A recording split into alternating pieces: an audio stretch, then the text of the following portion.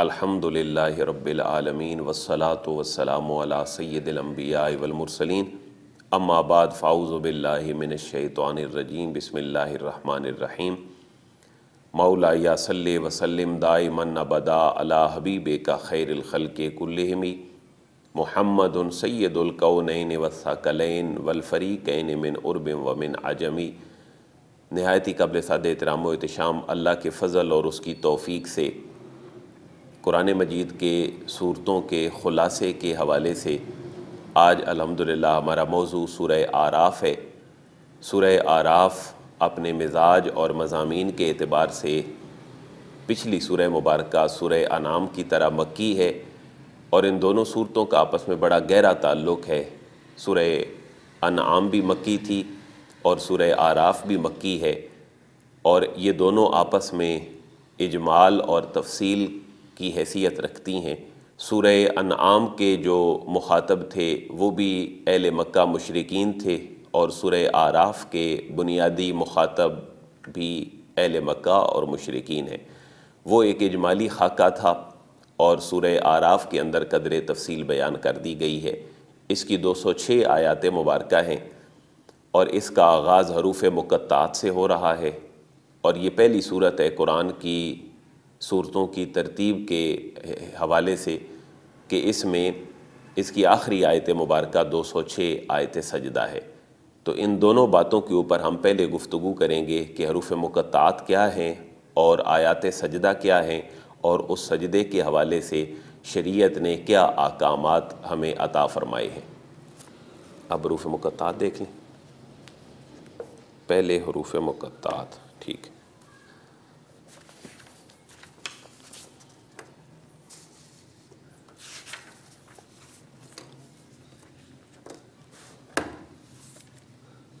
कुरान मजीद की तकरीबन 29 सूरतों के शुरू में हरूफ मुक़त्तात हैं और एक बात हर ख़ास व आम बंदा जानता है कि अल्फ़ाबेट और हरूफ तहजी जिनसे अरबी ज़ुबान बनती है, उनकी तादाद अट्ठाईस है।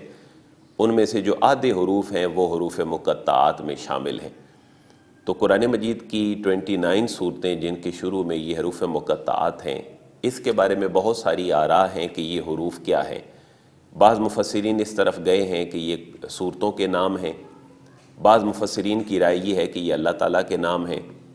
और मुख्तलिफ़ इस तरह की दूसरी तोजीहत हैं। इमाम बेजावी रहमत ताली ने फरमाया है कि ये हरूफ अहल मक्का जो बड़े फसी व बली थे, उनको चैलेंज हैं कि तुम कुरान को मुनज़ल में अल्लाह यानी अल्लाह का कलाम नहीं मानते हो।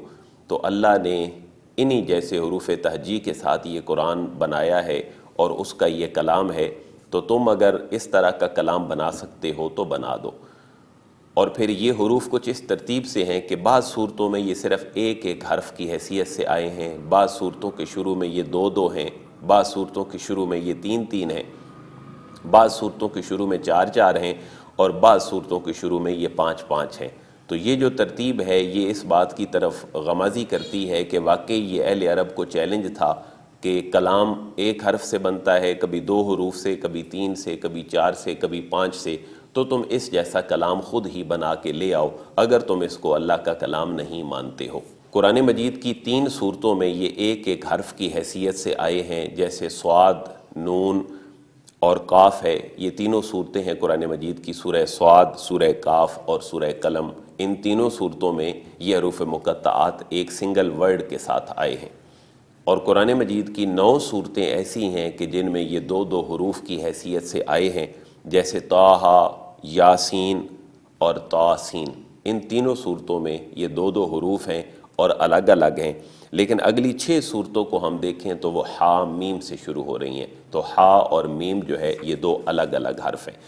इसी तरह ग्यारह सूरतें फिर ऐसी हैं कि जिनमें ये हरूफ मुक़त्ता तीन तीन हैं और उनमें से जो पहली छः हैं, वो अलिफ, लाम, मीम के साथ हैं। जैसे हमने देखा, सूरह बकरा भी अलिफ, लाम, मीम से शुरू हुई, सूरह आल इमरान भी अलिफ, लाम, मीम से शुरू हुई। और फिर पाँच सूरतें ऐसी हैं जो अलिफ, लाम, रा से शुरू हो रही हैं। तो ये एक एक दो दो और तीन तीन का कम्बिनेशन है। कुरान मजीद की दो सूरतें, सुरह शुरा और सुरह कसस, ये भी तीन तीन हरूफ वाली हैं। ये तो सीन और मीम से शुरू हो रही हैं। और फिर जहाँ पर ये चार हरूफ के कम्बिनेशन के साथ हैं, वो अलिफ, लाम, मीम और स्वाद हैं। ये आज की हमारी सूरह मुबारक है, जो सूरह आराफ है। फिर पाँच हरूफ मुकत्तात हैं, इनसे दो सूरतें शुरू हो रही हैं, सूरह मरियम और सूरह शूरा, काफ, हा, या, ऐन, स्वाद और हा, मीम, ऐन, सीन, काफ। तो ये कुल उनतीस सूरतें बन जाती हैं, जिनके शुरू में ये एक, दो, तीन, चार और पाँच के कम्बिनेशन के साथ हैं, ये हरूफ मुकत्तात हैं। इनके ऊपर ईमान लाना हमारे लिए ज़रूरी है।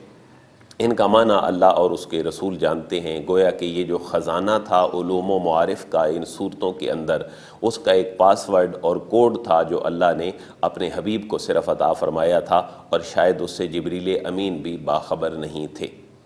इस सूर मुबारक का जो अफ्ताह है, वो भी हरूफ मुकत्तात से है, अलिफ, लाम, मीम और स्वाद। तो ये भी हरूफ मुकत्तात में से हैं। ये इब्तदाई तफसील थी जो आपकी खिदमत में पेश कर दी गई। और दूसरी तफसील जिसको जानना ज़रूरी है, क्योंकि ये पहली सूरत है जिसमें आयत सजदा आई है, सुरह आराफ की आयत नंबर 206 तो ये बात भी जेन नशीन कर ली जाए कि कुरान मजीद की चौदह सूरतें ऐसी हैं जिनके अंदर आयात सजदा हैं।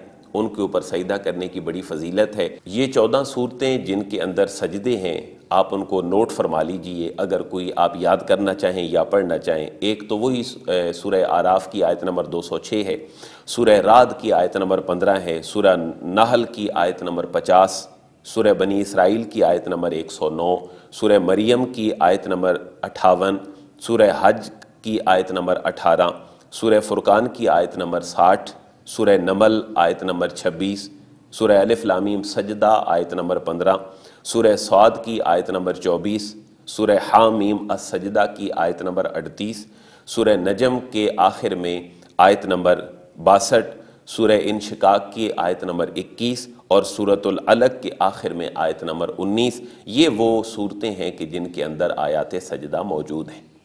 कुछ अहदीस मुबारक हैं जो आका करीम सलाम से इनकी बड़ी फजीलत है।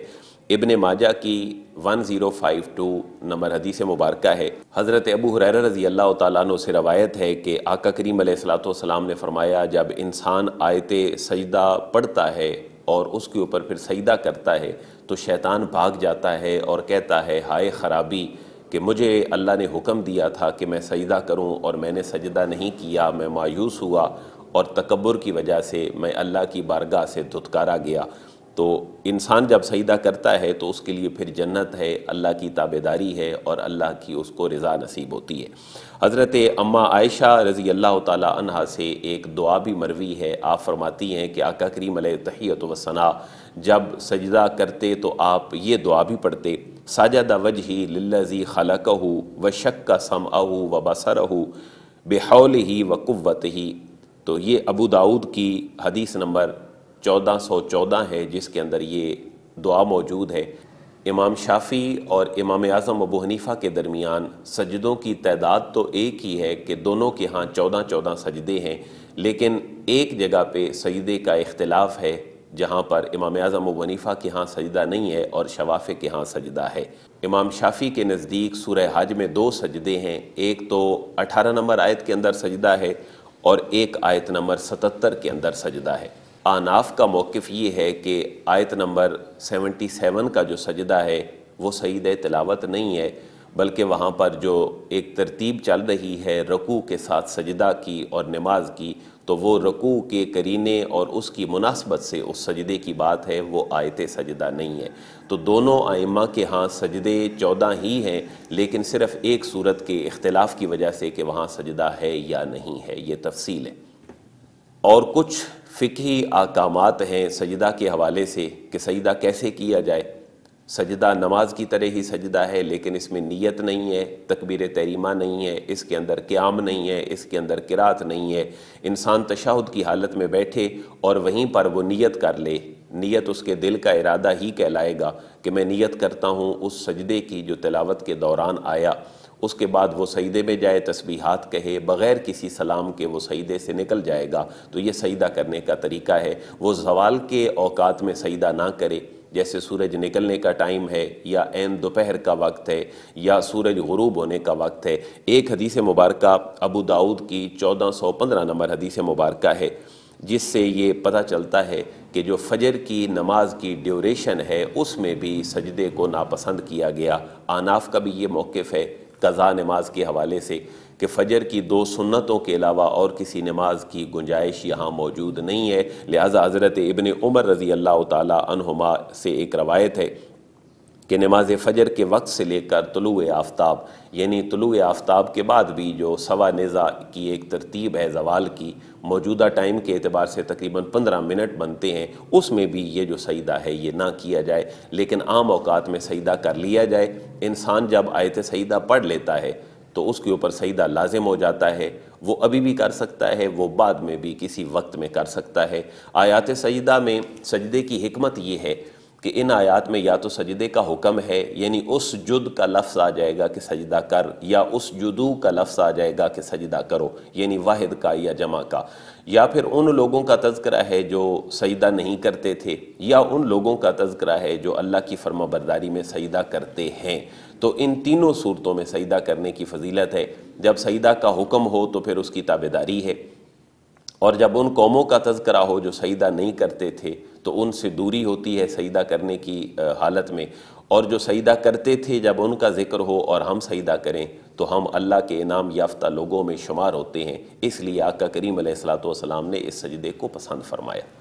हम सूरतों के तारफ़ में एक और चीज़ आपकी खिदमत में पेश कर रहे हैं, ताकि नौजवान नस्ल का फ़ायदा हो और कुरान मजीद जिसको पूरा याद नहीं होता और कुरान मजीद वो पूरा मदारस की एक पूरे प्रोसीजर से वो हिफ्स नहीं कर सकता तो वो कम अज़ कम कुरान मजीद की महकम आयात मुबारक जो उसकी लीगल वर्सेज हैं, जिनके अंदर फ़िक और तफ़क्को और कानून का पहलू मौजूद है जिसका ताल्लुक़ हमारे अकायद, हमारी इबादत और हमारे मामलात में से हमारी सियासत, हमारी मीशत और हमारी माशरत के साथ है, वो याद हो जाएँ और वो उसकी ज़िंदगी में अमली तौर पर आ जाएँ, जिनकी तादाद फ़ुकाहा ने तकरीबन पाँच सौ के करीब लिखी है और इसके ऊपर बाकायदा हर फ़िकी, मकतब फ़िक्र के उलमा ने, बुज़ुर्गों ने किताबें लिखी हैं। उनमें से, आनाफ में से एक किताब अबू बकर जसास रहमत ताली की अहकामुल कुरान और करीब तरीन पाकिस्तान बनने से पहले मुग़लों के दौर में मुल्ला अहमद जीवन रहमत ताली की किताब जो तफसीरत अहमदिया फ़ी बयान आयात शर्या के नाम से मौजूद है, उसके अंदर महकम आयात मुबारक बाकायदा से मौजूद हैं। ये याद कर ली जाएँ तो हमारी नौजवान नस्ल की ज़िंदगियों में कुरान आ सकता है। इस सिलसिले में सुर आराफ चूँकि मक्की सूरत है लेकिन इसके बावजूद भी इसके अंदर कुछ महकमात मौजूद हैं जिनका ताल्लुक़ हमारी फ़िक्री असलाह और हमारी अमली असलाह के साथ है। इसकी इन मोकम आयात में से तीन आयात मुबारक आयत नंबर 29, आयत नंबर 30 और आयत नंबर 31 ये महकमात में से हैं जिनके अंदर नमाज़ में क़्याम करना और नमाज़ के अंदर किबला रुख होना नमाज़ मस्जिद में अदा करना और नमाज़ के लिए नीयत का होना जैसे मैंने अर्ज़ किया कि नीयत दिल के इरादे का ही नाम है वो अल्फाज की मोहताज नहीं। और आयत नंबर 31 का जो मफहूम है वो नमाज़ में शर्मगाह को ढांप कर नमाज़ पढ़ना ये ज़रूरी है। और इसका तस्करा या बनी आदम खजू जीनत अकुम इन दकुल्ल मस्जिद के अल्फाज के साथ है। तो ये नोट फरमा लीजिए आयत नंबर 29, आयत नंबर 30 और आयत नंबर 31 ये तीनों महकम आयात मुबारक में से इस सूरत की दूसरी महकम एक आयत, बल्कि चौथी तरतीब के अतबार से बनती है, लेकिन दूसरा मौका है, चूँकि वो तीनों तरतीब के साथ थी। तो ये आयत मुबारक छियालीस है सुर आराफ की। इसके अंदर दो चीज़ें हैं। एक तो इस सूरत की वजह तस्मिया है कि इसको सुर आराफ क्यों कहते हैं? क्योंकि आराफ का लफ्ज़ आयत नंबर छियालीस के अंदर मौजूद है। इस वजह से इस सूर मुबारक का नाम ही सुर आराफ है। और इसके अलावा साहब कराम से भी इस तरह की, के अल्फाज मरवी हैं, जिनमें आराफ का लफ्ज़ मौजूद है। मसलन, अम्मा आयशा की एक रवायत है, जिसको इमाम नसाई ने अपनी किताब सुनन नसाई में, किताब सजूदुल कुरान में, हदीस नंबर नौ सौ बानवे, नाइन नाइन टू में ये ज़िक्र किया है कि हज़रत अम्मा आयशा से रवायत है कि आका करीम सलाम ने मगरब में सुर आराफ पढ़ी और उसको तकसीम कर दिया। यानी जो आधी सूरत है वो एक रकत में पड़ी और आधी सूरत जो है वो एक रकत में पड़ी। तो इस हदीस के हवाले से भी पता चलता है कि इस सूरत का नाम सूरह आराफ ही था चूँकि अम्मा आयशा रज़ी अल्लाह तहा ने इसको ज़िक्र कर दिया है। इसका नाम आराफ है लेकिन आराफ से मुराद क्या है और आराफ वाले लोग कौन से हैं? इसके बारे में मुफसरीन की आरा हैं। आरा, आराफ से मुराद जन्नतियों और दोजखियों के दरमियान एक पर्दा या एक दीवार है और इसी को मकाम आराफ कहते हैं। और इस जगह पर कुछ लोग मौजूद होंगे जो जन्नतियों को भी देख रहे होंगे, उनके चेहरों की अलामत के साथ, और ये दोजखियों को भी देख रहे होंगे। लेकिन वो लोग कौन हैं जो मकाम आराफ पे होंगे? इसके बारे में मुफसरीन की कुछ आरा हैं। उनको ज़रा नोट फरमा लीजिए। वो लोग मकाम आराफ पे होंगे, यानी ना जन्नत में होंगे, ना दोजख में होंगे, मकाम आराफ पे होंगे, जो जन्नत और दोजख के दरमियान का मुकाम है। वो वो लोग होंगे कि जिनकी नेकियाँ और बुराइयाँ बराबर होंगी। या इससे मुराद वो लोग हैं कि जिनके वालदेन में से वालद या वालदा कोई एक अपनी औलाद से नाराज़ होगा। और वो औलाद जब मरेगी तो उसको जन्नत नहीं मिलेगी। वो दो में भी नहीं जाएँगे, लेकिन वो मकाम आराफ के ऊपर मौजूद होंगे। एक तीसरी रवायत इस आराफ के मुकाम पर मौजूद लोगों के हवाले से है कि इससे मुराद मुशरकिन की औलादें हैं। क्योंकि वो शिरक नहीं करती होंगी, लेकिन चूँकि मुशरकिन की औलादें होंगी और उन्होंने कलमा नहीं पढ़ा होगा, इस वजह से वो दो में नहीं जाएँगे, जन्नत में भी नहीं जाएँगे, वो मकाम आराफ के ऊपर मौजूद होंगे। और एक रवायत इससे ये भी हमें मिलती है कि इस मकाम आराफ पे मौजूद लोग वो लोग होंगे जो ज़माने फ़तरत के अंदर पैदा हुए होंगे। यानी उन्होंने किसी नबी का ज़माना नहीं पाया होगा। खसूसियत के साथ जनाब हज़रत ईसा से लेकर आका करीम सलाम की बेसत तक इससे, इसके दरमियान में जो लोग आए, जो काफिर भी नहीं थे मुशरक भी नहीं थे, लेकिन उन्होंने किसी नबी का ज़माना भी नहीं पाया था। तो दौर फ़तरत के जो लोग हैं, अल्लाह उनको दो में नहीं भेजेगा, लेकिन जन्नत में भी नहीं भेजेगा, वो मकाम आराफ के ऊपर मौजूद होंगे। तो इस तरह की दीगर कई रवायात और भी मौजूद हैं कि ये साहिब आराफ कौन होंगे, जिनको असहाबुल आराफ कहा जाता है। लेकिन एक बात तय है कि आराफ का मकाम और असहाब आराफ इन दो चीज़ों के ऊपर ईमान रखना, ये बंद मोमिन की ईमान की निशानी है। हम इससे इसको इग्नोर नहीं कर सकते। और ये भी नोट फरमा लीजिए कि आयत नंबर ये जो छियालीस है, बल्कि छियालीस, सैंतालीस, अड़तालीस और उनचास में ये जन्नत का, दोजख का, आराफ का और असाबुल आराफ का तस्करा है। गोया के ईमानियात के हवाले से ये जो आयत है, ये हमारी मोहकम आयात में से एक आयत है। पीछे उनतीस, तीस और इकतीस गुजरी, यहाँ पर छियालीस, सैंतालीस, अड़तालीस और उनचास हैं, जिसके अंदर हमारे ईमानियात में से एक चीज़ का तफसीला तस्करा मौजूद है। जब हम इस सूरत में मज़ीद आगे जाते हैं तो इसकी आयत नंबर सत्तर और इकहत्तर में एक दौर हाजिर का एक आलमी मसला कि दुनिया बेहयाई में मुलवस हो चुकी है, उस हवाले से वहाँ पर अल्लाह तबारक व ताली ने हज़रत लूत सलाम की कौम का तस्करा किया है और उनकी जो हम जिन्स परस्ती थी और होमोसेक्चुअलिटी थी, उसको अल्लाह तबारक व ताली ने कंडेम फरमाया है। तो ये भी जो दो आयात हैं, ये मोहकम आयात मुबारक में से हैं। शरीयत ने होमोसेक्चुअलिटी के लिए बाकायदा हद के अतबार से कोई सज़ा तो मुतन नहीं की, लेकिन और फ़ुकहा के यहाँ ताज़ीराती कवानीन के तहत सज़ाएँ इस फ़ेल बद में मुलविस होने वाले लोगों को दी जा सकती हैं। फ़ुका की भी मुख्तलिफ़ रवायात हैं। उनको जला दिया जाए, पानी में उनको बहा दिया जाए, या बुलंदी से गिरा कर पत्थरों से उनको मार दिया जाए। ये सारी सज़ाएँ उनके लिए ताज़ीरी सज़ाएँ हैं। और कुरान मजीद से ही ये मफहम जो है वो निकाला है फ़ुकहा ने, क्योंकि हज़रत लूत सलाम के मना करने के बावजूद उनकी कौम जब इस फ़ेल बद में मुबतला हुई तो फिर उनको उठाया उठाया गया और उठाकर उनको ज़मीन के ऊपर पटख पटख दिया गया। इस हवाले से क्योंकि वो कौम बड़ी ज़्यादती करने वाली थी और बड़े हद से गुजरने वाले थे। तो ये इसकी आयत नंबर सत्तर और इकहत्तर जो है, ये भी मोकम आयात में से है। और इसकी आयत नंबर निन्यानवे भी मोकमात में से है। और वो अजाब इलाई से बेखौफ होने की ममानियत है कि अजाब इलाई से कभी बेखौफ ना हुआ जाए। इसके अलावा इसकी आयत नंबर एक सौ सतावन और एक सौ अठावन। आका करीम सलाम की बेसत और आपके मैसेंजर होने के साथ साथ आपके लेजिस्लेटर होना, आपका कानून दान होना, आपका कानून साज होना और एक अथॉरिटी रखने के हवाले से आपको उम्मी का लफ्ज़ जो है वो उसके साथ ख़िताब किया गया। तो ये जो दो आयात मुबारक हैं, ये भी महकमात में से हैं। और इसके अलावा इसकी आयत नंबर बहत्तर और इसकी आयत नंबर जो तिहत्तर है, वो वादा लेने, मीसाक करने और ऐद पैमान करने के हवाले से महकमात में से है। लिहाजा इसको भी नोट कर लिया जाए।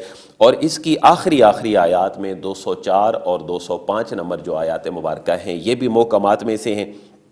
और ये ऐसी मोकम आयत है कि मैं आपकी तवज्जो चाहूँगा इस तरफ़। हमारी नौजवान नस्ल और हम सारे कुरान बरकत के लिए लगा लेते हैं, लेकिन उसको सुनने की तरफ़ हम कान नहीं धरते। तो ये नोट फरमा लीजिए कि कुरान मजीद का पढ़ना शायद फ़र्ज़ नहीं है, लेकिन जब वो पढ़ा जा रहा हो तो उसका सुनना फ़र्ज़ है। तो ये जो दो आयात हैं 204 और 205 सुरह आराफ की। इसमें अल्लाह रबुल्ज़त इरशाद फरमा रहे हैं वज़ा कुर अलकुरान फ़स्तमू लहू व अनसतुल्कुम तुरहमून। कि जब कुरान पढ़ा जाए तो कुरान को सुनो और गौर करो उसकी तरफ़ ताकि तुम्हारे ऊपर रहम किया जाए। तो ये दो आयात भी जो हैं, ये मोकम आयात हैं। इस आयत का दूसरा टुकड़ा है, वज़कुर रब्बा कफ़ी नफ़से का तदर्र अम वखीफ़ा वदून अलजहर मिनल कौल बिलगुदव वल आसाल वला तकुम मिनल गाफिलीन। कि अल्लाह ताला को पुकारा जाए बुलंद आवाज़ से भी अल्लाह ताला को पुकारा जाए, पस्त आवाज़ रख कर भी। अल्लाह तबारक व ताली सुनने वाला है, उसको हर हाल में पुकारा जाए और गफलत वाले लोगों में से ना हुआ जाए। यहाँ पर एक असलाह हो रही है, ये चूँकि मोकम आयत है, आज ऊँची दुआएँ मांगने मसाजिद में और मुख्तलिफ़ मजहबी इजतमात में उसका बड़ा रवाज हो गया। वो बाकायदा अल्फाज लबो लहजा और सुनने वाले के कानों की लज्जत तो उसके अंदर है, लेकिन अल्लाह की तरफ़ जो तवज्जो है, वो उसके अंदर से ख़त्म हो जाती है। लिहाजा अल्लाह रबुल्ज़त ये फरमा रहे हैं कि वज़ को रब्बा कफ़ी नफ्से का। तुम अपने दिल में अल्लाह को याद करो, लेकिन शर्त यह है कि उसके अंदर तदर्रो हो और वखीफ़ा और वो पोशीदा तौर पर हो। तो ये भी मोकम आयत है, ये भी हमारी असलाह कर रही है। तो इस तरह ये टोटल आयात मुबारक तकरीबन आठ बनती हैं, जो इस सूरत के अंदर महकमात में से हैं। मैंने नंबर आपके सामने रख दिए, इसको कोशिश करें कि अपने बच्चों को याद याद करवा दें। इस सूर्य मुबारक के तारफ़ में हमने ये बात देखी कि ये सूर्य मुबारक अपनी नंबरिंग के अतबार से सात नंबर सूरत है। इससे पहले सूर्य फ़ातिहा सूर्य बकरा सूर्य आल इमरान सूर्य नसा सूर्य मायदा सूर्य अनआम और अब ये सूर्य आराफ हमारे सामने मौजूद है। ये कुरान की सात तवील तरीन सूरतों में से है जिनका तस्करा इब्तदाई हमारे तारफ़ वाले सेशन में कर दिया गया। इसकी 206 आयात मुबारक और इसके 24 रकू हैं। एक और बात आज आप जेन नशीन फरमा लीजिए, अपना कॉन्सेप्ट क्लियर कर लीजिए कि ये रकू क्या होता है। तो रकू जो है, ये हमारी नमाज़ में बड़ा मशहूर और मरूफ है। हम किरा, क्याम करते हैं साथ किरात करते हैं साथ रकू करते हैं। तो आपको चंद मखसूस मुतन महदूद आयात मुबारक के बाद एक एन लिखा हुआ नज़र आएगा और एक कॉर्नर पे रकू लिखा होता है। इससे मुराद ये है कि यहाँ पर आपने रकू करना है। इसकी शरी हैसियत क्या है? ये ज़रा जेन नशीन फरमा लें कि ये इब्तदाई इस्लाम में ऐसा नहीं था। जब बाद में कुरान मजीद के ऊपर एराब लगे, नुक्ते लगे और उस वक़्त आयात की तरतीब हुई तो रकूआत के हवाले से भी हमारे फ़ुकहा ने मुफसरीन ने इसके ऊपर काम किया। फतावा आलमगिरी बरसग़ीर पाक हिंद का एक बहुत बड़ा फतावा है फ़िक हनफी का। उसकी तरावी की फ़सल के अंदर इनके हवाले से कुछ तफसील मौजूद है कि ये रमज़ानमबारक में जो दौर कुरान तरावी की शक्ल में होता है, जिसमें इमाम अपने मुक्तदियों को बीस रकत तरावी पढ़ाता है, वो अगर सताईस दिन तरावी पढ़ाए और ललतुल्क़दर यानी सताईस रमज़ानमबारक को कुरान मजीद का अख्ताम हो और उसकी तकमील हो तो अगर हर रकत में एक इतनी आयात पढ़ी जाएँ जिनके ऊपर रकू का साइन बना होता है तो यूँ एक रकू हर रकत में पढ़ने और हर रोज़ बीस रकत पढ़ने और फिर सताईस दिन तक ये तरावी की नमाज़ पढ़ने से कुरान मजीद के पाँच सौ चालीस रकू बन जाते हैं, जो बासानी कुरान मजीद जो है वो मुकम्मल हो सकता है। लेकिन अगर आप मौजूदा नुस्खों को गिने तो इनके अंदर कुरान मजीद की जो रकूओं की तरतीब है वो पाँच सौ अट्ठावन भी है और पाँच सौ सड़सठ भी है। तो जब हम ये, इस सूरत की तैयारी कर रहे थे इब्तदाई तारफ़ में तो हमने बनफ से नफीस कुरान के जो रकू हैं, उनको गिना, दो स्कॉलर्स ने बैठ कर तो वहाँ भी तादाद 540 नहीं निकली। लेकिन अगर ये तादाद कुछ इख्तलाफी आयात के साथ भी हो तो वो इतना बड़ा मैटर नहीं है। कोई भी अपनी सहूलत के लिए किसी भी तरीके से कुरान को पढ़ सकता है। जैसे कुरान के 114 सूरतें हैं 30 पारे हैं, सात मंजिलें हैं और यूँ फिर रकूआत हैं तो ये आसानी के लिए हैं, ये हलाल और हराम का मसला नहीं है, आप किसी भी तरीके से कुरान मजीद को पढ़ सकते हैं। तो ये सूर्य मुबारक सब तवाल में से है, ये मक्की जोड़ा है सूर्य अनाम का और ये आज की हमारी सूर्य आराफ। बल्कि एक और बात आप जे नशीन फरमा लें कि पहले दस पारों की जितनी भी सूरतें हैं, वो तमाम की तमाम मदनी हैं, सिवाय इन दो, यानी सुरह अनाम और सुरह आराफ के। और जो सुरह फातिहा है, वो मक्की और मदनी दोनों मिजाज रखती है। आप अगले दस पारों में चले जाएँ, ग्यारह से लेकर बीस तक तो उन तीन पारों, उन दस पारों में तमाम सूरतें जो हैं, वो मक्की हैं, सिवाय तीन के। वो तीन मदनी सूरतें हैं, उनमें एक सुरह राद है, एक सुरह हज है और एक सुरह नूर है। तो ये बीस पारों की जो तरतीब है, वो इस तरीके से बनती है। अगर इसके मजामी पर हम एक सरसरी नज़र डालें, एक बर्ड आई व्यू करें तो आपके लिए शायद ये सूरत पढ़ने में आसानी रहे। ये सूरत मक्की एक दो सौ छः आयात मुबारक थी। इसकी जो पहली नौ आयात हैं, आयत नंबर एक से लेकर आयत नंबर नौ तक ये मुकदमे सूरत हैं। और इसकी जो आखिरी आयात मुबारक हैं वो तकरीबन बत्तीस के करीब इसका अख्तामी असलाही और आकामी खुतबा है। गोया कि हर सूरत अपने एक मुकदमे और अपने एक अख्तामी खुतबे के साथ चल रही होती है। जिसमें इब्तदाई बातें भी होती हैं और अख्तामी नसीहत बरे कलमात भी होते हैं। दरमियान में कुछ मिसालें सबका अकवाम की यह हर मक्की सूरत का एक मौजू रहा है।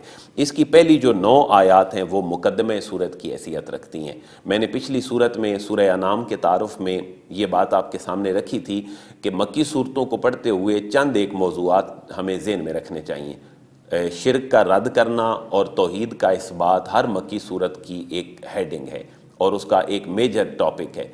और रिसालत के ऊपर आका करीम सलाम को अल्लाह का आखिरी नबी मानना और सिलसिला अम्बिया के तमाम अम्बिया के ऊपर ईमान लाना, आसमानी किताबों को बरहक समझना, मरने के बाद दोबारा जी उठना और बरज़ यानी कबर की ज़िंदगी, उसके बाद अल्लाह के हजूर पेश होना मैदान माशर और आका करीम सलाम की हयात तय्यबा में तबलीग इस्लाम और इशात इस्लाम में जितनी मुश्किल आपने उठाई, उनके ऊपर अल्लाह ने जो सब्र का हुक्म आपको दिया और फिर मक्की सूरतों के अंदर ही आका करीम सलाम को मक्का से मदीने जाने के जो इशारात हैं वो मिले। तो ये चंद एक मौजूद हैं जो हर मक्की सूरत के अंदर है। आप इस सूरत का मुकदमा और इसकी नौ आयात अगर इब्तदाई देखें तो आपको ये सारी बातें इन नौ आयात मुबारक में मिल जाएँगी।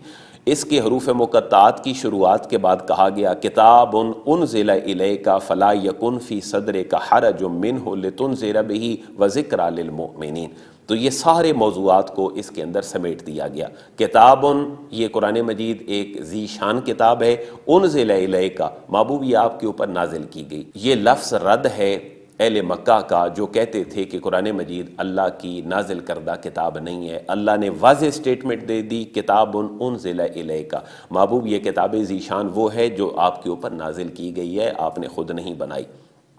पता चला, नाजिल करने वाला भी कोई है, किताब भी कोई चीज़ है, और आपके ऊपर नाजिल हुई तो तोहीद, रसालत और कुरान पर ईमान सिर्फ़ तीन अल्फाज में बयान कर दिया गया।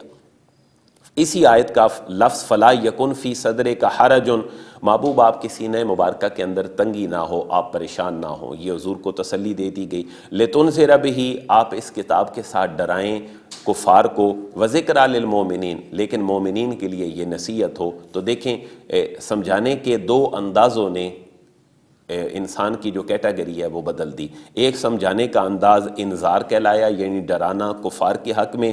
और वज़िक्र मोमिन मुसलमानों के लिए ये नसीहत है। तो दोनों अल्लाह के अंदाज हैं, लेकिन सुनने वाले और समझने वाले की अपने माइंड सेट और उसकी सलाहियतों की बिना पर एक के लिए वो डराना बन गया और एक के लिए वो नसीहत बन गया। तो पहली ये जो आयात मुबारक हैं, इनके अंदर फिर सबका अकवाम का तस्करा है। वकम मिन करियत आह लक नाहा कितने ही ऐसे देहात हैं, पिंड हैं, गाँव हैं, शहर हैं, महबूब, जिनको हमने हलाक कर दिया। इस हालत में कि बयाता, वो अपनी रात की नींद पूरी कर रहे थे। ओ हम काइलून, या वो दिन का कैलूला कर रहे थे। तो यहाँ रात का सोना और दिन का जो कैलूला है, वो भी अल्लाह के नबी की सुन्नत है। उसकी तरफ़ भी बिटवीन द लाइन हमें इशारा मिल रहा है। वल वज़न योम इज़न हक़, और क़्यामत का तस्करा है कि उस दिन जो आमाल हैं, उनका वज़न किया जाएगा। तो इस आयत के ऊपर भी ईमान लाना हमारे लिए ज़रूरी है। वो वज़न शायद ऐसा नहीं होगा जैसे आज हम वज़न करते हैं। दुनियावी चीज़ों में नापने, मापने के लिए दो तीन किस्म के पैमाने हैं। हम अगर मादी चीज़ों को नापें और मापें तो उसके लिए हम किलो और इन चीज़ों का एतबार करते हैं, जैसे गंदम है खाने पीने की चीज़ें हैं। लेकिन अगर हमने किसी जाविये से अपनी बीमारियों, यानी बुखार और सर दर्द को नापना मापना हो तो फिर उसके लिए और पैमाने हैं। इसी तरह नफ़रत और मोहब्बत को काउंट करने के अलग से पैमाने हैं। तो क़्यामत वाले दिन जो इंसान के अमाल का वज़न किया जाएगा, वो किस तरह का होगा, इंसान को अल्लाह कैसे उसका वज़न करके उसको नेक अमाल का बदला और बुरे अमाल की उसको सजा देगा, ये अल्लाह के ऊपर है कि क़्यामत वाले दिन वो उसकी शान के मुताबिक वो किस तरह वज़न फरमाएगा। तो पहली नौ आयात इसका मुकदमा है।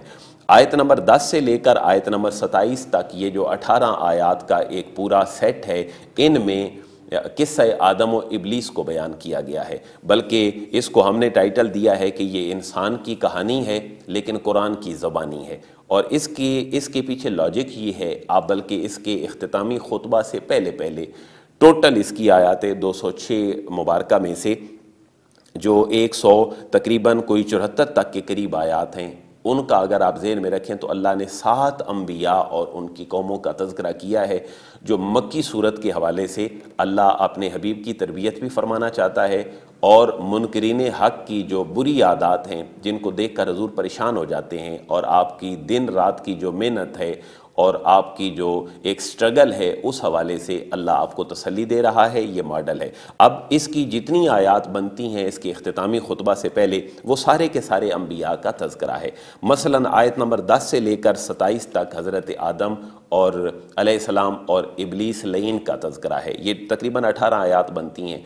यहाँ से गोया के तीन एक बातें हज़रत इंसान को खसूस एल मक्का को बतलाना मकसूद हैं कि एल मक्का शैतान की रविश इख्तियार ना करो, इबलीस की रविश इख्तियार ना करो। इबलीस ने जो किया, वो क्या था? अल्लाह एल मक्का को उससे दूर करना चाहता है। कि इबलीस ने हसद किया आदम से तो धुतकारा गया। उसने तकबर किया, धुतकारा गया। और फिर मायूस हुआ तो अल्लाह की बारगाह से दूर हो गया। ए एल मक्का, मेरे हबीब करीम के एलान नबूवत के बाद ये जो इशात इस्लाम का सिलसिला है, इसमें तुम तकबर भी ना करो, इसमें हसद भी ना करो, और इसमें मायूस भी ना हो। आओ खैर की तरफ़, तुम्हारे लिए सारे दरवाजे खुले हैं। अगर तकबर करोगे, हसद करोगे और मायूस होगे तो फिर तुम्हारे सामने एक पूरा वाक़ पड़ा है इबलीस का कि आदम आसमाम के मुकाबले में कैसे आया तो वहाँ पर फिर उसको जो है वो बारगाह इलाई से धुतकार दिया गया। तो ये सबक है इस वाक़े के अंदर। ये जो पूरा वाक़ है, ये मुख्तलिफ़ जगहों पर रिपीट हुआ है, लेकिन मिसाल जो है वो अल मक्का को दी जा रही है। हज़रत आदम सलाम और इबलीस लईन के किस्से में इसकी इब्तदाई आयात की आयत नंबर सत्रह थोड़ी सी गौर तलब है। इसके अंदर शैतान जब धुतकारा गया तो उसने कहा, सुम्मा लात यन्नहुम मिम बैन ऐदीहिम व मिन खलफ़िम व अन ऐमान व अन शमा कि शैतान ने अल्लाह के हजूर ये कहा कि, ठीक है, मैं अगर अल्लाह तो मुझे अपनी बारगाह से दूर करता है तो फिर मैं तेरे बंदों को गुमराह करूँगा। मैं उनके आगे से आके भी गुमराह करूँगा, उनके पीछे से आके भी गुमराह करूँगा, और उनके दाएँ तरफ़ से भी आके गुमराह करूँगा व अन शमाए लहम, और उनके बाएँ तरफ़ से भी आकर गुमराह करूँगा।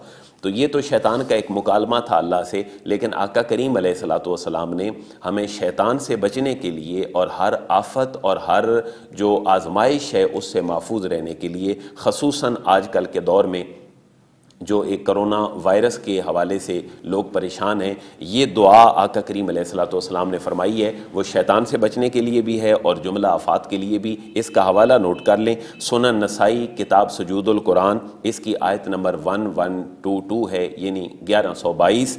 तो इसके अंदर दुआ मांगने का तरीका सिखाया गया कि शैतान ने जितनी जानब से और अतराफ़ से कसम उठाई थी इंसान को गुमराह करने की, आका करीम सलाम ने अल्लाह की मदद मांगी है। और कहा कि यूँ दुआ पड़ा करो, अल्लाह मज अल्फ़ी कलबी नूरा, अल्लाह मेरे दिल के अंदर नूर पैदा कर दे। वज अल्फ़ी सम ई नूरा, अल्लाह मेरे कानों के अंदर नूर पैदा कर दे। वज अल्फ़ी बसरी नूरा, अल्लाह मेरी आँखों में नूर पैदा कर दे। वज अलमिन तहती नूरा अल्लाह मेरे नीचे नूर पैदा कर दे। वज अलमिन फ़ौ की नूरा, मेरे ऊपर नूर पैदा कर दे। व अन यमीनी नूरा, मेरी दाएँ तरफ़ नूर पैदा कर दे। व अन यसारी नूरा, मेरे बाएँ तरफ़ नूर पैदा कर दे। वज अल अमामी नूरा, अल्लाह मेरे सामने नूर पैदा फरमा दे। वज अल खल्फ़ी नूरा, अल्लाह मेरे पीछे नूर पैदा फरमा दे। व आज़िम ली नूरा, और अल्लाह मेरे लिए नूर को अजीम फरमा दे। तो इस दुआ का पढ़ना मसनून भी है और शैतान से बहकावे और जुमला आफात और बलियात से बचने का सबब भी है। इन दुआओं को सुबह शाम का मामूल बना लीजिए। आज के फरागत के दौर में अपने बच्चों को ये दुआएँ याद करवा दीजिए ताकि ये हमारी ज़िंदगी का हिस्सा बन सकें। जब हम इस सूरत के मजामी में मज़ीद आगे चलते हैं तो इसकी आयत नंबर 28 से लेकर आयत नंबर 58 तक, यानी 28 से लेकर 58 नंबर आयत मुबारक की जो इकतीस आयात हैं इनके अंदर जन्नत या दो की तरफ़ ले जाने वाले जो अवामिल हैं, अल्लाह तबारक व ताली ने उनको बड़े तफसील के साथ बयान फरमाया है कि जन्नत में ले जाने वाली चीज़ तुम्हारे लिए वो है कि तुम अल्लाह के हजूर खड़े हुआ करो, नमाज़ पढ़ा करो और हिदायत की तरफ़ आया करो, शैतान से दूर रहा करो। मैंने मोहकम आयात के तारफ़ में ये उनतीस, तीस और इकतीस नंबर आयत मुबारक को बयान कर दिया था। दोजक की तरफ़ ले जाने वाले मामला ये हैं कि तुम ख़ुद अपने ऊपर कुछ चीज़ें ऐसी हराम कर लो मुसलत कर लो या ख़ुद कोई चीज़ें नाजायज़ होते हुए उनको अपने लिए जायज़ कर दो तो ये चीज़ तुम्हारे लिए ठीक नहीं है। और बेहयाई और बुराई अल्लाह को नहायत नापसंद है। ये तुम्हें दो की तरफ़ ले जाने वाली है। इससे बचो, मौत के ऊपर यकीन रखो, मेरी आयात को ना जुटलाओ। तकबर ना करो। अल्लाह के बारे में वो ना कहो जो अल्लाह की शान नहीं है, जो अल्लाह की शान है वो ही कुछ कहो। तो ये जो चीज़ें हैं बुनियादी तौर पर, इन चीज़ों को इन इब्तदाई आयात मुबारक में बयान किया गया। और अमसाल कुरान कुरान का एक इल्म है जिसमें अल्लाह तब, अल्लाह तबारक व ताली मिसाल देकर बंदों को बात समझाते हैं। वो मिसाल सबका कौमों की भी हो सकती है, वो मिसाल मुस्तबिल के हवाले से और हाल में बंदे को को बात समझाने के हवाले से भी हो सकती है। यहाँ पर बड़े तहकुमाना अंदाज में एक बात कही गई कि इन लजीन कज़बू बे आयातना वस्तक बरू अनहा, जो लोग मेरी आयात को जुटलाते हैं और तकबर और गुरूर करते हैं। ला तो फ़तम अब वाबुसमा उनके लिए कभी आसमान के दरवाज़े खैर बरकत के और अल्लाह की रज़ा के नहीं खुल सकते। वला यदखलून अलजन्ना, ना ही वो जन्नत में जा सकते हैं। फिर मिसाल ये दी हती याल जल जमल लोफ़ी सम्मिल खियात। जैसे ऊँट सुई के नोके से नहीं गुजर सकता, ऐसे ये लोग कभी जन्नत में नहीं जा सकते, जो अल्लाह रसूल की आयात को जुटलाते हैं। अल अमान वल हफीज़ आज मुसलमान कुरान को छोड़ चुका है तो इसमें मुसलमान को अपने किरदार की तरफ़ भी गौर करना चाहिए कि कहीं आयात को झुटलाना और तकबर की राह इख्तियार करना कहीं हमारे अंदर दर तो नहीं आया। इन्हीं आयात में चलते चलते चंद मखसूस आयात और चंद रकुओं के फासले के बाद अल्लाह तबारक व ताली एक नए नबी और उसकी कौम का तस्करा फरमा रहे हैं और एल मक्का की असलाह की कोशिश की जा रही है। इसकी आयत नंबर 59 से लेकर 64 तक ये जो छः आयात हैं, ये हज़रत नू सलाम का तस्करा है और आपकी कौम का तस्करा है। उन्होंने भी तकबर किया। साढ़े नौ सौ साल तक हज़रत नू सलाम ने इशात इस्लाम के लिए मेहनतें की, लेकिन चंद लोग तकरीबन कोई एटी के करीब दायर इस्लाम में दाखिल हुए। अल्लाह तबारक व ताली ने आपको कश्ती बनाने का हुक्म दिया, उस कश्ती में जोड़ा जोड़ा सवार करने का हुक्म दिया, फिर बाकी लोगों को गर्क कर दिया। ये चंद एक बातें इन आयात मुबारक में मौजूद हैं, लेकिन एक माइंड सेट अल्लाह हज़रत नू सलाम के वाक़े से अपने हबीब के सामने रखना चाहते हैं। और वो माइंड सेट ये है कि जो इलीट क्लास थी, जो मलय आला थे हज़रत नू सलाम की कौम के, उन्होंने जवाबन हज़रत नू को ये कहा, इन्ना लनरा कफ़ी दलाल मुबीन, कि हम तो ए नू माज अल्लाह तुझे बड़ी गुमराही में देखते हैं। तो ये जो रवैया है मुखातब की तरफ़ से एक दाई को और एक मुबल्लिग को और परीचर को वो एक हौसला आका करीम सलाम को अल्लाह तबारक व इरशाद फरमा रहे हैं कि महबूब, ये बातें जेन में रख कर आपने आगे चलना है। हज़रत नू सलाम को आदम सानी भी कहा जाता है, क्योंकि हज़रत आदम सलाम के बाद हज़रत शीस और हज़रत शीस के बाद हज़रत नू सलाम तशरीफ़ लाए। आदम सानी इसलिए कि आपने फिर कायनात की सारी चीज़ों के मुनकरीन हक के गरक होने के बाद इस कायनात की दोबारा से आगाज़ रखा और इसका दोबारा जो है वो उसका आगाज़ किया। इस हवाले से आपको आदम सानी कहा जाता है। आपके नू नाम होने के हवाले से भी कुछ रवायात हैं, जो तफसीली रवायात हैं। नू, नोआ करने वाला, यानी रोने वाला, गिरिया जारी करने वाला, गिड़गिड़ाने वाला है, क्योंकि आपने लोगों को अल्लाह की तरफ़ बुलाया, लेकिन कौम की जो शकावत कलबी थी, सख्त दिली थी, वो राह हक के अंदर हमेशा एक जो है वो दीवार साबित हुई। इसी सिलसिले आयात में आयत नंबर पैंसठ से लेकर बहत्तर नंबर आयत मुबारक तक, ये तकरीबन एक रकू और आठ आयात मुबारक हैं, जिनमें अल्लाह ने अपने पैगंबर हज़रत हूद सलाम और उनकी कौम जिसका नाम कौम आद था, उसका तस्करा फरमाया है, बल्कि साथ ही मुतसिल ये बात भी जेन में रख लीजिए, आयत नंबर तिहत्तर से लेकर आयत नंबर उनासी तक सेवेंटी नाइन तक, अल्लाह ने हज़रत सलाम और आपकी कौम कौम समूद का भी तस्करा फरमाया है। तो ये आठ और सात के कम्बिनेशन से टोटल पंद्रह आयात मुबारक बनती हैं, जिनमें इन दोनों कौमों का तस्करा है। कौम आद के नबी हज़रत हूद सलाम थे। इसके ऊपर कुरान की पूरी सूरह मुबारक आगे मक्की सूरतों में आ रही है। और कौम समूद के नबी हज़रत साल सलाम थे। मुफसरीन ने कौम आद और कौम समूद के हालात बयान करते हुए ये लिखा है कि आद और समूद दोनों भाई थे और दोनों हज़रत नू सलाम के बाद आपकी औलाद जनाब हज़रत साम में से थे। और इनकी तरफ़ अल्लाह तबारक व ताली ने अपने अम्बिया को, जैसे मैंने अर्ज़ कर दिया, हज़रत हूद सलाम और हज़रत सलाम को नबी बनाकर भेजा। इन कौमों को अल्लाह तबारक व ताली ने जिसमानी एतबार से और अपने फ़िगर के एतबार से भी बड़ी डील डोल नसीब फरमाई थी और इनको बड़े फ़नून अता फरमाए थे। ये आज भी अगर आप कोई एटलस देखें कुरान मजीद का तो उसके अंदर हमें नज़र आता है कि कौम आद और कौम समूद, ये दोनों बड़े बड़े पहाड़ों के अंदर अपने मोर्चे खोद के और बड़े बनाव सिंगार के साथ अपने मकानात बनाते थे। तो अल्लाह ने इनको बड़ा इल्म हुनर दिया था, लेकिन अल्लाह के आगे झुकने के लिए तैयार नहीं थे। अल्लाह तबारक व ताली ने अपने अम्बिया को भेजा कि इनसे तकबर दूर करो और इनको अल्लाह के रास्ते की तरफ़ झुकने वाला बनाओ। लेकिन दोनों कौमों ने नाफरमानी की और दोनों कौमों को अल्लाह तबारक व ताली ने तबाह बर्बाद कर दिया। इनका तस्कर अगली मज़ीद सूरतों में आता रहेगा। हज़रत सलाम की कौम ने तो ये तक कह दिया कि जब तक कोई एक ऊँटनी गाँव बन एक पहाड़ से निकल कर हमारे सामने ना आए और हमें दूध ना दे, हम उस वक्त तक ऐसा ले आप ईमान नहीं लाएँगे। अल्लाह तबारक व ताली ने आपको ये मुआजा भी अता फरमाया और कुरान ने इसको आया के नाम से ताबीर किया। गोया के मुआजे के लिए कुरान ने आयत का लफ्ज़ जो है वो इख्तियार किया है। ऊँटनी निकल आई, लेकिन उन्होंने फिर जा बजा वही शरारतें शुरू कर दी कि हम ईमान नहीं लाएँगे। हती कि वो अल्लाह की निशानियों में से थी। वो एक दिन पानी पीने का उसके लिए मुकर था और एक दिन कौम और उसके जानवरों और माल मवेशियों के लिए था। तो जितना वो पानी पीती थी एक दिन, इतना ही वो दूध उनकी कौम को देती थी। लेकिन कौम नाफरमान थी, सख्त दिली थी। उन्होंने हज़रत सलाम की जो ऊँटनी है उसको मार दिया। फिर अल्लाह का अजाब तीन दिनों में उनके सामने आया।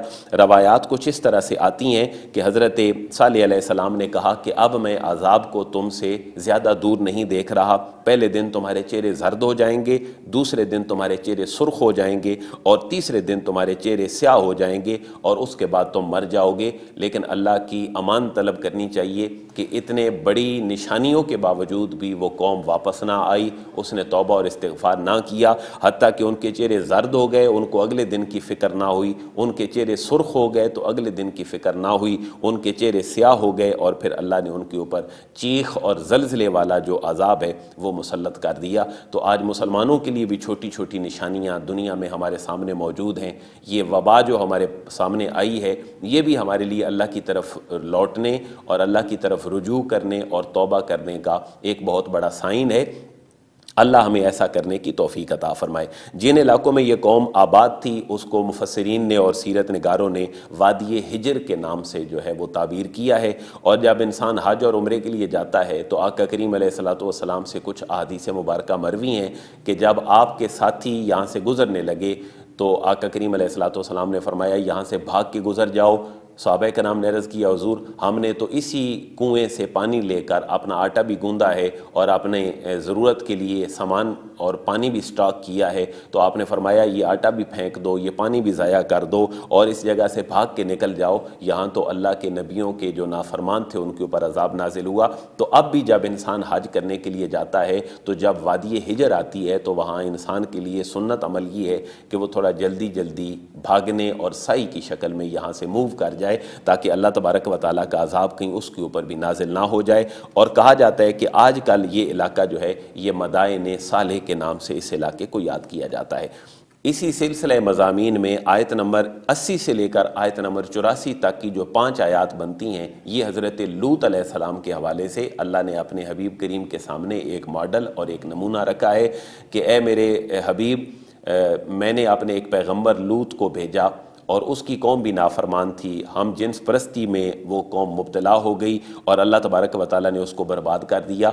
रवायात में आता है कि हज़रत लूत हज़रत इब्राहिम खलीलुल्लाह के भतीजे थे।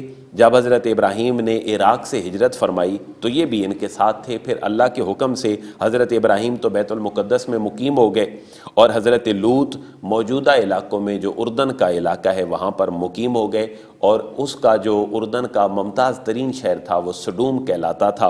और यहीं पर हज़रत लूत सलाम ने अपनी कौम को दावत देना शुरू की और इसी इलाके में आपकी कौम, हम जिन्स परस्ती में मुबतला हुई, यहीं पर उनके ऊपर आज़ाब आया।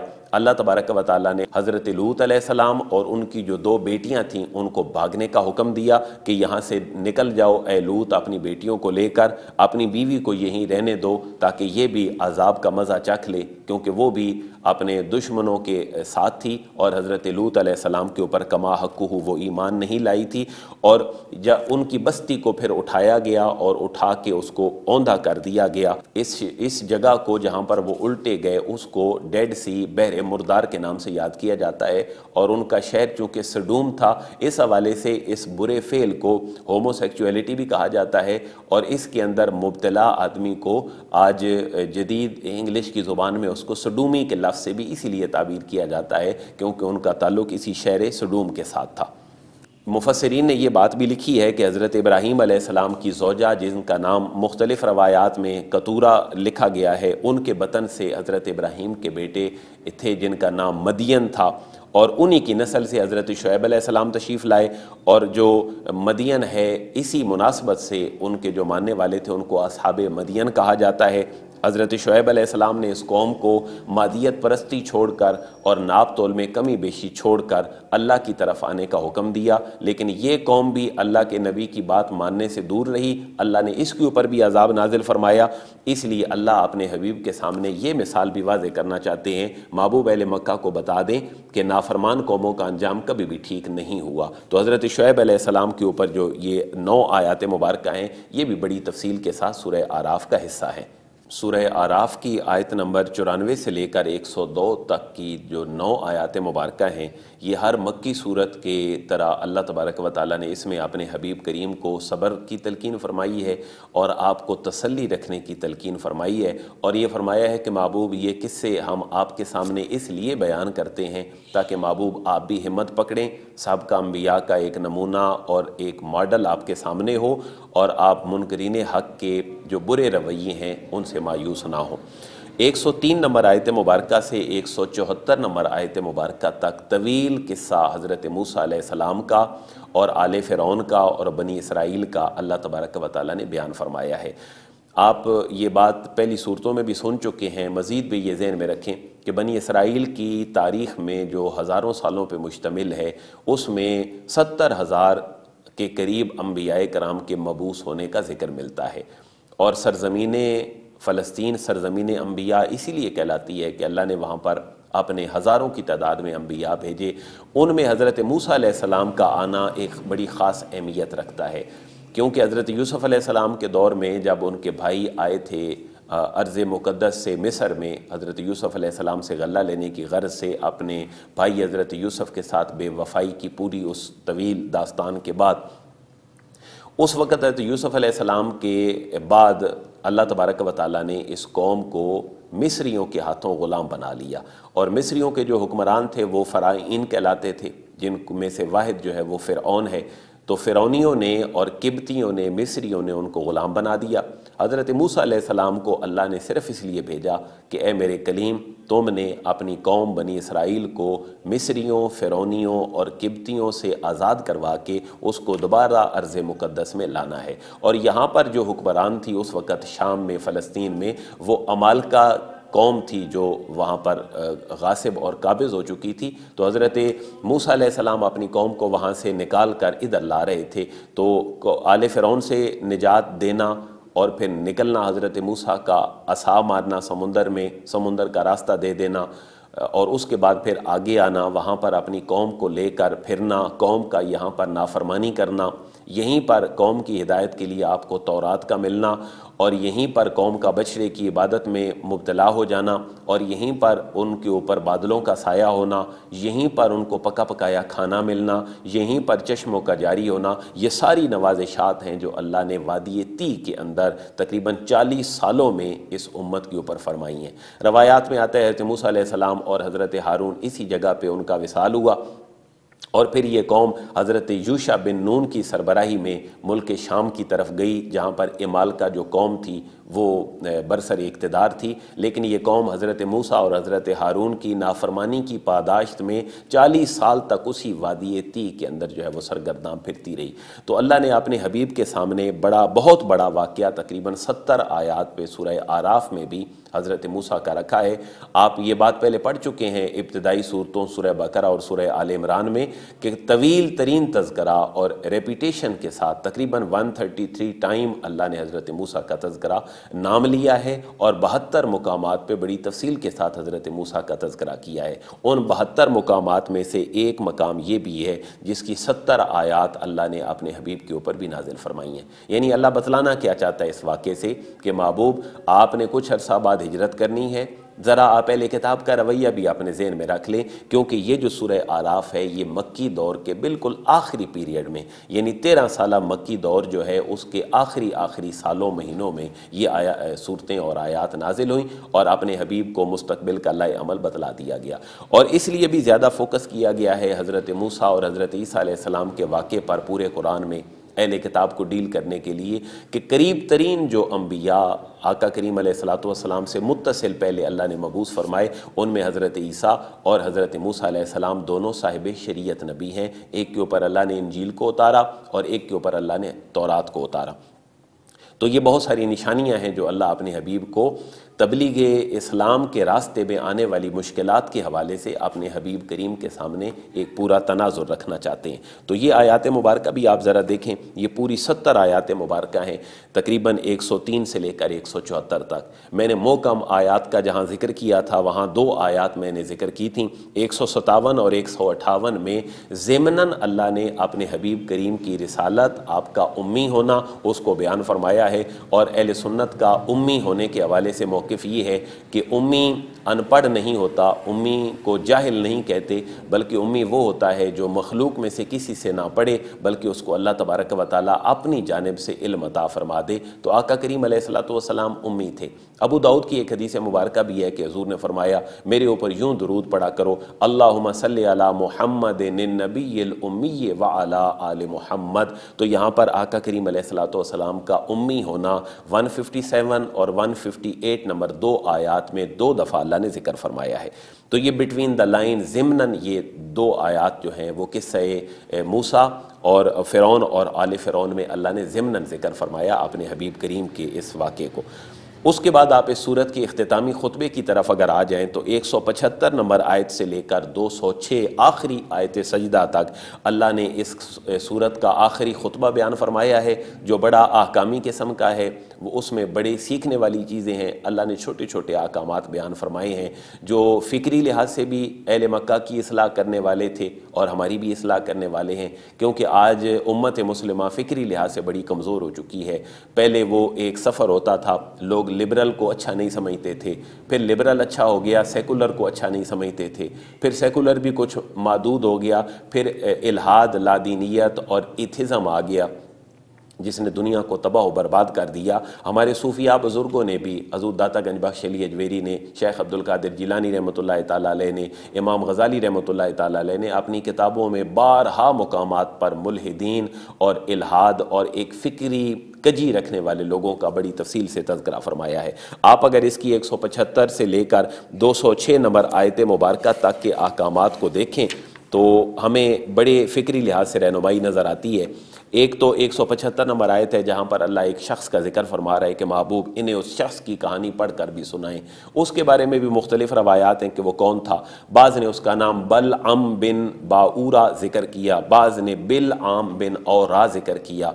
इमाम कुर्तबी ने और जो है वो इमाम मावर्दी ने अपनी तफासिर में कि एक शख्स था जिसको अल्लाह ने बड़ा नॉलेज दिया था, बड़ा इलम था उसके पास, लेकिन वो अम्बिया की तालीमत का मुनकर था तो अल्लाह तबारक व ताली ने उसको जो है वो एक निशान इबरत बना दिया। यहाँ पर उसकी मिसाल माजल्ला कुत्ते के साथ दी गई है कि ऐसा बंदा जो अल्लाह के अहकाम को छोड़ दे, वो गोया कि इल्हास करता है। यानी जैसे कुत्ता हाँपता रहता है, उसको कुछ मिल भी जाए तो हाँपता है, उसका पेट भर भी जाए तो वो हाँपता है।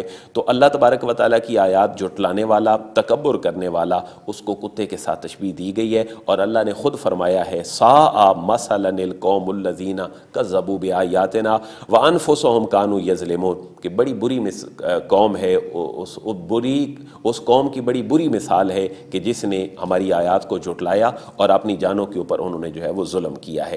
तो यहाँ पर जो लोग अल्लाह की आका, अल्लाह के अहकाम को और उसके नबी की ताज़ीम नहीं करते और अहकाम को नहीं मानते, अल्लाह ने उनको कहा है उलाए का कल अनआम बल हम अदल। वो मवेशी हैं, जानवर हैं, चौपाए हैं, बल हम अदल, बल्कि ये उससे भी गए गुजरे हैं ओलाए को हमल गाफिलून। ये बड़े गफलत वाले लोग हैं। इसी आखिरी अख्तामी खुतबे की वन वन एटी नंबर आयत मुबारक में अल्लाह फरमा रहा है, ज़रा मुझे पुकार कर तो देखो, तुम लात, मनात, हुबल और अपनी ख्वाहिशात की ताबेदारी में लगे हो, अपने नफ्स के बंदे बने हो, ज़रा अल्लाह को भी पुकार कर देखो, मेरे बड़े प्यारे नाम हैं। आका करीम सलाम ने तो यहाँ तक फरमाया, सही मुस्लिम की हदीस मुबारक है, हज़रत अबू हुरैरा रज़ी अल्लाह तु इसके रावी हैं कि लिल्ला तिस अतुम व तिस ऊन इसमा, अल्लाह तबारक व ताली के निन्यानवे नाम हैं, मन हाफिज़हा दखल जन्ना जिसने उनको हिफ्स किया, वो जन्नत में दाखिल होगा। व इन अल्लाह वितर युहिब्बुल वितर। और अल्लाह तबारक व ताक है और अल्लाह ताक को पसंद फरमाता है। ये हदीस का नंबर नोट फरमा ले सही मुस्लिम, किताब ज़िक्र है और हदीस number six eight zero nine, के जो अल्लाह के नाम याद करेगा, अल्लाह तबारक व ताली उसको जन्नत में जगह अदा फरमाएगा। हमने अपने बचपन में देखा था कि पी टी वी पे ये नाम पढ़े जाते थे। आज तो अल्लाह अपनी हिफ्स और पनाह नसीब फरमाए। आज एक ऐसा मीडिया का एक, हमारे सामने दजाली मीडिया आ गया कि जिसने हमारे बच्चों को दीन से बड़ा दूर कर दिया। तो कोशिश करें कि ये सही मुस्लिम की इस हदीस मुबारक की रोशनी में अपने बच्चों को अल्लाह तबारक व ताली के नाम याद करवा दें। ये जन्नत के दखूल का जो है वो एक खुशखबरी है और इसको अल्लाह तबारक व ताली के नामों के याद करने से रिलेट किया गया है। हमारे इसी आखिरी अख्तामी खुतबे में अल्लाह के अहकाम को जुटलाने की मिसाल जैसे मैंने अर्ज़ कर दी, बड़ी शदीद मिसाल दी गई। जो अल्लाह के पैगाम को नहीं मानता अम्बिया की हिदायत को नहीं मानता, वो हैवानों से भी बदता रहे अल्लाह को पुकार कर तो देखो, और फिर तुमने गौर नहीं किया, तुमने कभी फ़िक्र नहीं किया। 185 नंबर आयत मुबारक में रिपीटेडली ये कहा गया, अवलम या तफक्रू क्या इन्होंने गौर व फ़िक्र नहीं किया महबूब कि हमने इनको कैसे बनाया है? जिस कायनात में ये रहते हैं, उस कायनात को कितना हसीन बनाया है? अवलम यन ज़रूफ़ी मलकूत समावत वल अर्द, वमा खलक मिन शे। अल्लाह ने जो कुछ भी ज़मीन व आसमान में पैदा किया है, क्या इन्होंने कभी इसमें नज़र नहीं की? कभी इन्होंने गौर व फ़िक्र नहीं किया? अगर ये गौर व फ़िक्र कर लेते तो मेरा पता तो इन्हें पूरी कायनात की इन तजलियात से ही मिल जाता कि इनका कोई ज़रूर खालिक और मालिक मौजूद है। आप इन्हीं अख्तामी खुतबे वाली आयात मुबारक में 187 तक जाएँगे तो फिर उन्हें कहा जा रहा है कि क़्यामत मांगते हो अहल मक्का तो इसकी निशानियाँ मांगते हो तो एक दिन इंतज़ार करो, वो भी आ जाएगी और फिर जब वो आ जाएगी तो तुम्हारी बेबसी और तुम्हारा लाजवाब होना देखने वाला होगा। इसलिए उस बेबसी से बचने के लिए आज तुम्हारे पास वक्त है कि तुम अल्लाह रसूल के अहकाम की तरफ़ आ जाओ। 188 नंबर आयत मुबारक में आका करीम सलाम अपने अबद होने को, अपने महबूब बंदे होने को उनके सामने डिक्लेयर फरमा रहे हैं कि मैं तुम्हारा खुदा नहीं हूँ, मैं ऐसा नहीं हूँ कि मैं कोई इल्म ज़ाती रखता हूँ, मेरे पास इल्म गैब है, कल के आने वाले दिन की ख़बरें हैं मेरे पास, मैं तो अल्लाह का एक फ़रस्तादा बंदा हूँ, जिसको अल्लाह ने नज़ीर बनाकर भेजा है और बशीर बनाकर भेजा है। तुमने मेरी इबादत नहीं करनी, तुमने अल्लाह की इबादत करनी है, क्योंकि हर किस्म का इल्म अल्लाह के पास है। अल्लाह ने मुझे और मेरे सबका भाइयों अम्बिया को उतना ही अता फरमाया है जितना उसने अता फरमाना था। उम्मत मुस्लिमा के पास ऐसा कोई पैमाना नहीं कि जिसमें वो आका करीम सलाम के इल्म मुबारक का जो है वो वज़न कर सके। हती के उलमा ने, बुज़ुर्गों ने ये लिखा कि मखलूक का इल्म, नबी पाक वसल्लम के इल्म के मुकाबले में ऐसा है जैसे एक कतरा समुंदर के मुकाबले में होता है, क्योंकि कतरा भी महदूद है और समुंदर भी महदूद है। दुनिया के हवाले से लामादूद है, लेकिन वो किसी और चीज़ के हवाले से महदूद है, वो लिमिटेड है। लेकिन ये कहना कि आका करीम सलाम का इल्म अल्लाह के इल्म के मुकाबले में ऐसे है जैसे कतरा समुंदर के मुकाबले में है तो ये मिसाल ठीक नहीं है, क्योंकि महदूद की महदूद के साथ मिसाल तो ठीक है, लेकिन महदूद यानी आका करीम सलाम के इल्म को अल्लाह के लामहदूद इल्म के साथ मिसाल देना, ये मिसाल भी ठीक नहीं है। इसलिए अल्लाह ने कितना इल्म दिया अपने हबीब को? ये अल्लाह जानता है और उसका रसूल जानता है। ये मेंबर और मेराब की बातें नहीं थी। लेकिन ये मंबर और मेराब पे आ गई तो उम्मत मुसलमान नज़री और फ़िक्री मसाइल में ऐसे गर्क हो गई कि उसने अपनी डिबेट और अपनी गुफ्तु का मौजू ही इन्हें बना लिया और जो उसका असल मिशन था कि वो अमल की राहों की तरफ़ आती, वो उससे दूर हो गई। अल्लाह में इससे भी अपनी हिफ्स और अमान नसीब फरमाए। और फिर 189 और 190 में अल्लाह ने अपनी तख्लीक में फिर इंसान को गौर करने का हुक्म दिया है। अल्लाह फरमाता है, ए एल मक्का, मैं तो तुम्हारे वकार की बात करता हूँ। तुम्हारा वकार इसमें है कि तुम अपने से किसी बहुत बड़े इला को पूजो और किसी बड़े मबूद की इबादत करो। ये क्या कि तुम अपने से भी कम तर जो मबूद हैं तुम्हारे हाथ से बनाए हुए, को मट्टी के, को लकड़ी के, को सत्तू के, को पत्थर के तुम इनकी इबादत करते हो तो अल्लाह फरमा रहा ये तो तुम्हारे वकार के भी ख़िलाफ़ हैं। तुमने अगर इबादत करनी है तो अल्लाह की इबादत करो, जो बहुत बड़ा है और जो तमाम मखलूक का जो है वो खालिक है और तमाम चीज़ों का मालिक है। इसी आखिरी अख्तामी खुतबा की चंद आयात मुबारक में अल्लाह तबारक व ताली ने अपने हबीब को बड़ी मुशफ़ाना नसीहतें फरमाई हैं। खुजिल अफ़ महबूब, दरगुजर फरमाते रहिए वामुर बिल उर्फ़, व आरद अनिल जाहिलीन। और जाहिलों से आप दूरी ही इख्तियार कीजिए। आपका काम इन तक कलम हक पहुँचा देना है, सो आपने पहुँचा दिया है। आगे एक और रहनुमाई है मेरे लिए भी, आपके लिए भी, कुल उम्मत मुस्लिमा के लिए भी। व इम्मा ज़न्ना का मिन शैतान नज़गुन फ़स्त इज़ बिल्ला इन्नहू समी अलीम। कि जब तुम महबूब आपको जब गुस्सा आने लगे, या जब आप कहीं इनकी इनके राय हक की तरफ़ ना आने की वजह से कहीं इमोशनल होने लगे तो मबू फ़स्त बिल्ला, आऊज़ बिल्ला शैतान रजीम पढ़ लिया कीजिए। तो मेरे और आपके लिए भी ये है कि गुस्से की हालत में और जुमला दीगर मामलात में हमें भी तवज़ पढ़ना चाहिए, बल्कि कुरान मजीद पढ़ने के लिए तो हमें बाकायदा से हुक्म दिया गया कि जब तुम कुरान पढ़ने लगो तो उससे पहले आऊज़ बिल्लामिन शैतान रजीम भी पढ़ लिया करो। तो ये इसका अख्तामी खुतबा है। और आखिर में फिर एक और बात कर दी गई जो मैंने मोकम आयात में ज़िक्र कर दी। जब कुरान पढ़ा जाए तो कुरान को सुनो, उसकी तरफ़ तवज्जो करो, ताकि तुम्हारे ऊपर रहम किया जाए। इसकी आखिरी आयत मुबारक आयत सजदा है। मैं उसको तिलावत नहीं करता। आप ख़ुद उसको ज़रा देख लीजिएगा एक आखिरी बात इस सूरत के हवाले से मैं और अर्ज़ करना चाहता हूँ कि इसकी आयत नंबर चौवन में एक मुतशाब आयत मौजूद है कि अल्लाह तबारक व ताली ने ज़मीन व आसमान को छः दिनों में पैदा फरमाया और फिर अल्लाह अर्श के ऊपर जो है उसने इस्तेवा फरमाया। तो ये मुतशाब आयत है, इसके अंदर गौर फ़िक्र की ज़रूरत नहीं, इसका माना अल्लाह रसूल बेहतर जानते हैं, लेकिन इमाम मालिक ने एक बड़ी प्यारी बात की है जिसको जुमला मुफसरीन ने कोट किया है। इमाम मालिक फरमाते हैं अल्लाह ने छः दिनों में ज़मीन व आसमान को पैदा फरमाया, फिर अर्श के ऊपर अल्लाह ने इस्तेवा फरमाया। इसका माना क्या है? आप फरमाते हैं, इसमें चार चीज़ें जेन में रखने वाली हैं इस्तेवा मालूम कुरान की इस आयत से अल्लाह ने जो फरमाया कि उसने अर्श पर इस्तेवा फरमाया, अर्श पर अल्लाह आराम फरमाने लगा, अर्श पर अल्लाह सीधा हो गया, ये तो हमें मालूम हो गया। लेकिन अल्लाह ने आराम कैसे किया? व कैफ़ ना मालूम। इसकी कैफियत हमें मालूम नहीं है। लेकिन इसके ऊपर ईमान लाना हमारे लिए वाजिब है और इसके बारे में मज़ीद तहकीक करना और इसके बारे में सवाल करना ये बिदत है। तो ये चार आकाम इमाम मालिक ने जो है वो हमारी रहनुमाई के लिए ज़िक्र किए हैं। अल्लाह तबारक व से दुआ है कि इस सूरत को, इस सूरत की तिलावत करने की, इसकी मोकम आयात को याद करने की, इसके असरार रमूज़ को समझने की और इसके अमली अहकाम को हमें अपनी ज़िंदगियों में दाखिल करने की तोफ़ी नसीब फरमाए। वमालबलाग मौला या सल वसलम दायमन अबदा। अला हबीब का खैर खल के कुल्लमी